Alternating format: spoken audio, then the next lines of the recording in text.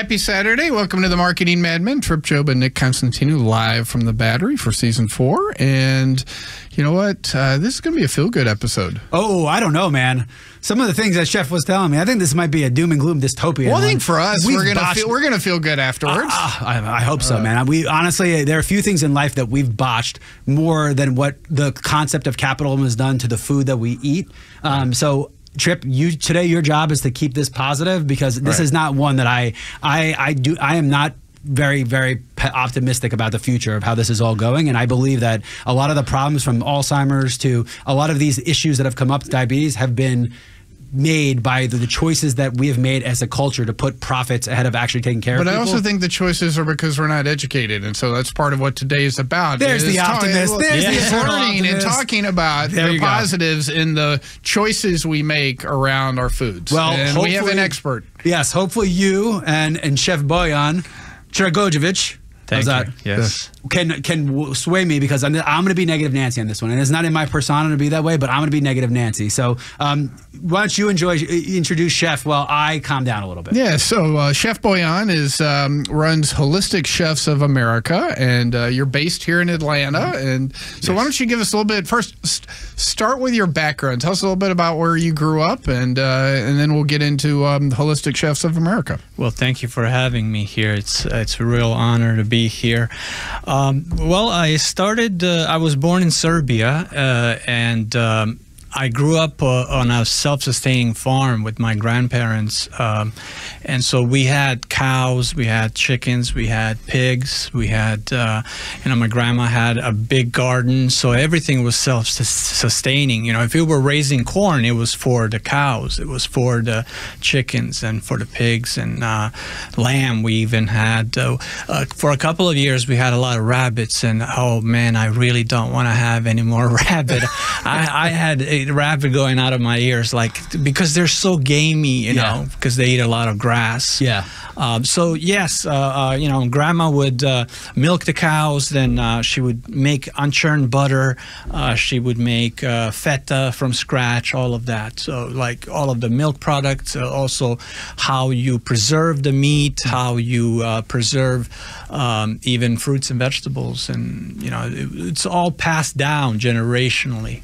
So that's where that's where the beginning was. But I came to Los Angeles when I was 13 years old, and I was in a restaurant since I was 16. And 32 years later, yeah, I've been to like 67 restaurants. So. Serbia to Los Angeles. Angeles. So Yes. cul- culture Wow. shock. I mean, if they, I don't even know a more extreme word than that, but I can only imagine. Um, so I think you know Serbia recently, and a lot of this is to do with the import of like NBA players. It is it is Yes. people talking about Serbia. It is a country. Jokic and even Slovenia. The, the people are talking about this part of the world. But I think when you say 30 years ago, it was pretty much unknown. Serbia was unknown to the United yes, States we of were part of Yugoslavia. So and then you why. moved Yeah. to Los Angeles. Yes. To, to Hollywood. So to talk about the restaurants you started there and what was the first culture shock like coming to LA? Well, we Yugoslavia was uh, on the western side of the Eastern Bloc. That's the best way to put it. So we had open borders. So which means that we were all pro Hollywood. We were pro America anyway. No one speaks more English than in Serbia right now. You can just go there and speak English. Got it. So it wasn't that much of a culture shock. I already knew where I wanted to be, and and I was working for Bud Yorkin and Cynthia Sykes, uh, Arnold Schwarzenegger. Uh, uh, in fact, I was supposed to work for Arnold Schwarzenegger as well in Hollywood uh, and uh, Beverly Hills. That entire Yeah. um, so it wasn't so much of a culture shock uh, because we, you know, we speak English. We, you know, as a, as a second language, uh, you know, Russian too. I, I know it's confusing, but we speak multiple languages. No, you in said Europe. you were closer to Europe, so you were Yes, more on the free border Yes, side. yes, you were not on the western side where they were sitting there and they were Yes. they were starting to run the propaganda campaigns. The- you saw the side of it, culture- the real side. The culture shock was for me when I was going through uh, uh, junior junior high school and high school when you, you have your lunch and you're like looking at it like is this lunch in America you know like the healthiest thing is is this apple that Yeah. hardly looks like an apple right Yeah. I mean and it's Yeah. been sprayed with like 23 Right. different You're watching like the pesticides. TV dinners, Yeah. watching these people put it in a microwave. yeah and like that the that, that, that was fair. an amazing like The wow whole this is school what you do. system is another issue. You and I were in, actually in LA at the same time, so I lived out there with my first uh, career job, and I used to. Uh, um, we had the paper contract for um, the LA school district, so I spent. uh, yeah, Oh, yes. bit Well, that's where I went there. to school. Yeah. there you go. And then um, and then I was there during the riots and all. But tell me, Me so- too. Yeah. so tell me during that period where you did start to work in a restaurant. I mean, L.A. I think the beauty of it is there's a lot of different ethnic pockets. How Yes. did did that it. help you find your first job, or how did that first job start out? You know. I was dishwasher and making sandwiches at 16. You know, still going to high school, and um, yeah, uh, Los Angeles back in the day was really an amazing place, right? Because you had little Ethiopia, you have Koreatown. Yeah. That was Koreatown. I, Okay. I was in Yeah. Koreatown. I was Long well. Beach, but yeah, but I guess spent a lot of time up changed there. quite a bit, but Yeah. it's still there. It's Yeah. still, it's Yeah. still, it's still, it's Well, still there. It's It's trendy not, now. It's not the way it was. Yeah. but that's anywhere. I mean, Queens used to be. There were neighborhoods where I grew up in Astoria was all Greeks and Russians. Now Yeah. it's four thousand dollars a month for a six Yeah. square foot apartment. Who's living there now? It's Yeah. changed very quickly. Yeah. Yeah. Uh, so, yeah, going from different restaurants. Uh, like today, I'm just looking in retrospect. Like, there is hardly anything original in restaurants these days because they're only they're spinning the same thing. You know, you know what I mean? It's like the same. It's like what sauces are you going to put on your chicken wings, right? Right. You know, ranch.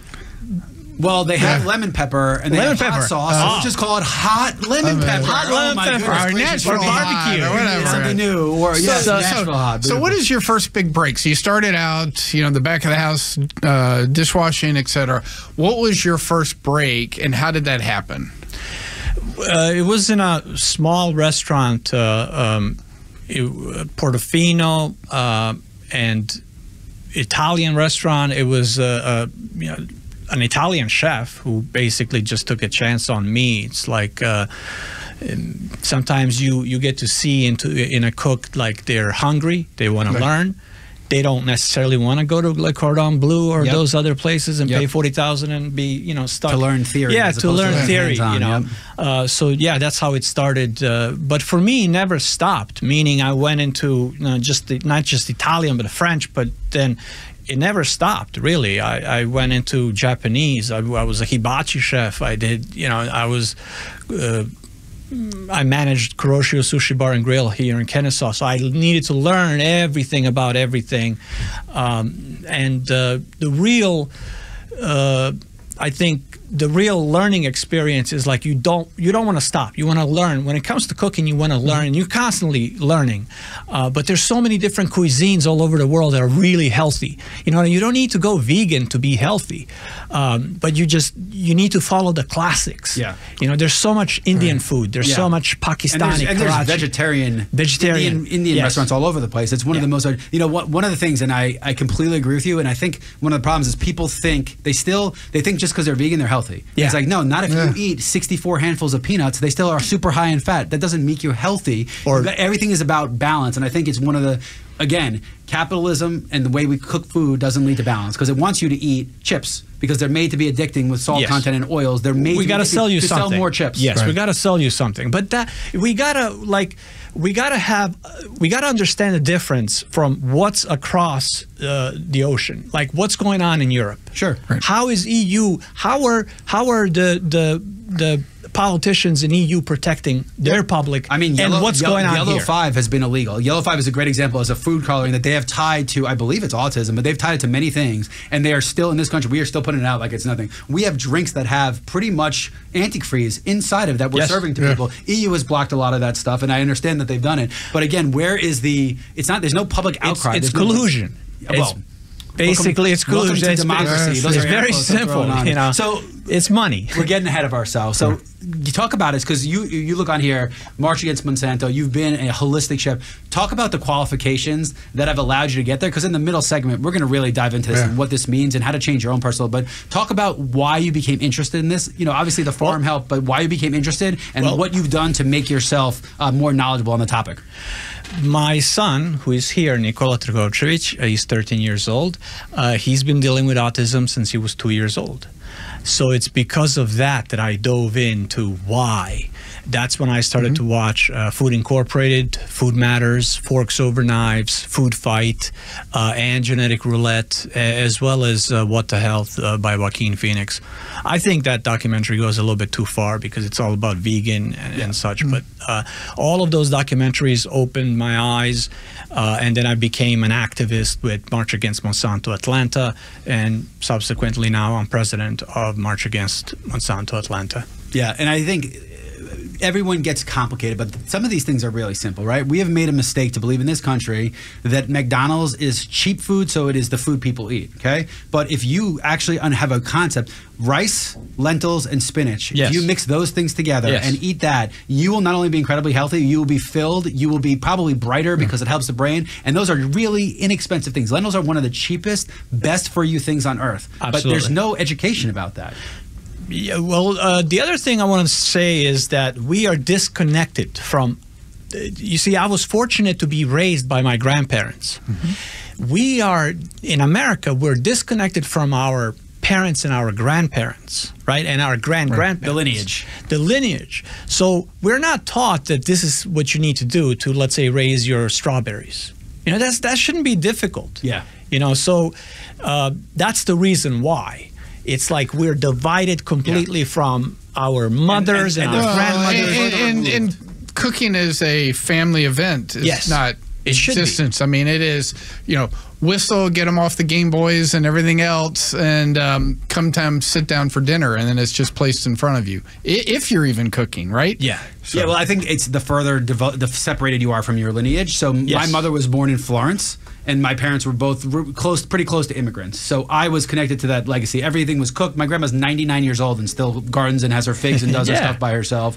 And there was very little. There was very little fluff be- being put into the food. But Yeah, no, absolutely, and I think uh, we want to hit that a little bit more when we uh, get back from the break. So we'll kind of kind of dive into that and, Yep. and some of the examples, and get into uh, again holistic chefs advice, of man. America. Let's give some people some advice how know. to fix it themselves too, because we need we need some Eh, help. Absolutely. So you've been listening That to the Marketing. Mad Men. We'll on Extra 106.3, and we'll be right back.